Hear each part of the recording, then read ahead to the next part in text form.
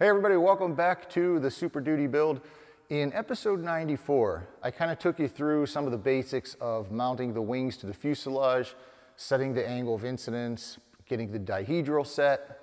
Once all that's done, it was time to get started on cutting, fitting, and drilling the wing struts. So in this video, I'm going to show you how I did all of that to the two front main struts on the Zenith Super Duty.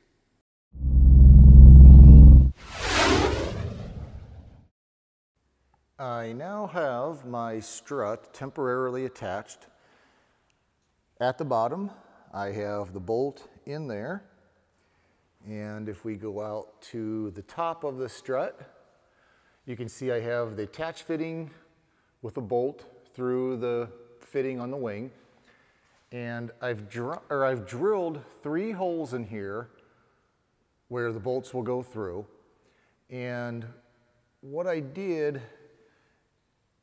let me see the best way to explain this, is as it's sitting in there, you can see that this is a little bit twisted in here. And if you don't know what I mean, you can see here on the plans how it shows it slightly at an angle. And so what I've done now, in each of these holes, I've just put my marker up there and put a dot on this fitting. So I think what I'm going to do next is take it all apart and then pre-drill the holes in the fitting and then I'll be able to, I'll have put clecos in here and then I can drill all the way straight through the strut and the attach bracket out through the other side of the strut and to get the bolt all the way through. I've removed the strut from the wing, or the airplane, and I've drilled these three holes in a drill press. And I did it in a drill press so I could get it absolutely perpendicular. And I did that just like I did when I attached these bottom fittings in here, which is a previous video. So I have it leveled this way, and I have it leveled this way, and that allows me to drill these holes straight. But I don't want to drill all the way through just because this, I can move this a little bit in here so it may not be perfectly at the right or the correct angle that it's supposed to be at. So I'm going to put this back on the airplane and I'll use my hand drill to drill straight through one of these and that will get this locked in the correct position. Then I can bring this back to the drill press and then drill through all of the holes. The strut is now back on the airplane and I have two clecos going through here. Since it's all attached, everything is in the absolute correct position. And now what I'll do is take a drill and you gotta hold that drill straight. You know, you don't want it angled at any way. So I'm gonna do it as perfectly straight as I can. I'm gonna go all the way through just on the one hole. And what that'll do is that will lock this in the correct rotation. Then I'm going to take it off and then drill straight through all of those again and then open up all the holes to a quarter inch.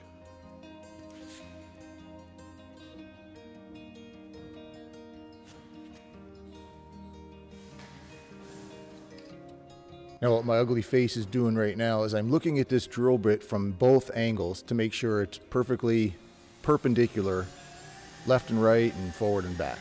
Once I've got it lined up, then I just drill all the way through.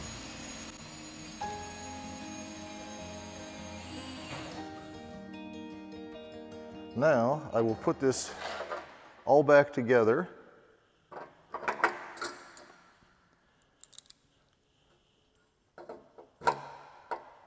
Actually, I'll put this one in. And now since I drilled all the way through this one, I can put a cleco in the bottom. And now this is held in the, the correct position.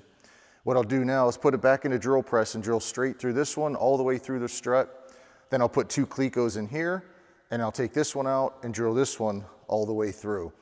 And I'll do that all the way up to a quarter of an inch and that will be done.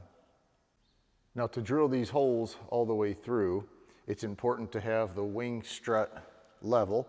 So I've leveled it this way, and then I put the level on this one, and make sure it's leveled this way. If it's not level, or what I do to get it level, is I take this little wooden block and slide it in and out. Because when I slide it in, it will rotate the strut that way. When I slide it out, it rotates it this way. So I slide this in and out until that level says it's perfectly level.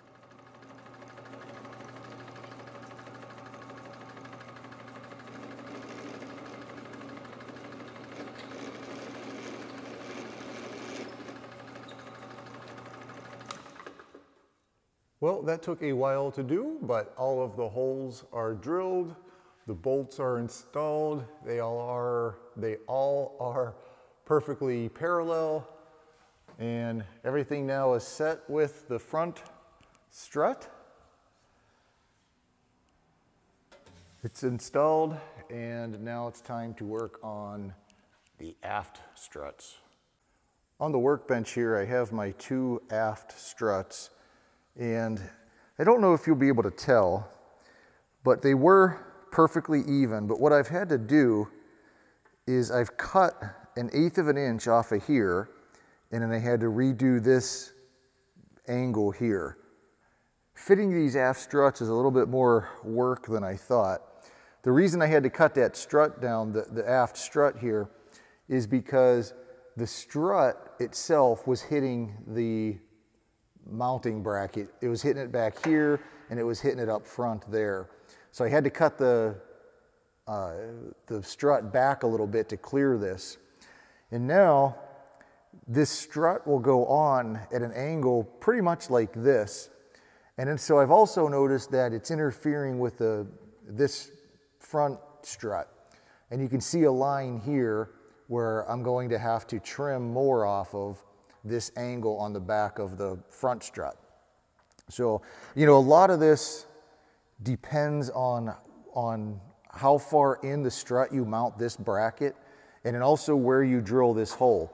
On mine, you know, I've drilled it so I have a, a real nice edge distance there for the greatest strength.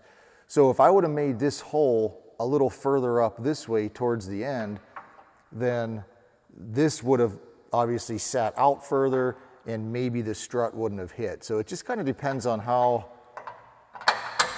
you know, how, how you trim everything and where you drill the holes and stuff like that. But the way mine is, uh, it's not just an easy fit here. I need to trim the, I need to take this front strut back off and trim this on the top and bottom. And then, like I said, I've already cut back the aft strut. So I'm going to end this video here because I'm going to take my time and figure out this aft strut on the right wing. Once I get that one done, then I'll make a video on how I mounted the aft strut on the left wing. So that's it for now. Thanks for watching guys and we'll see you again on the next one.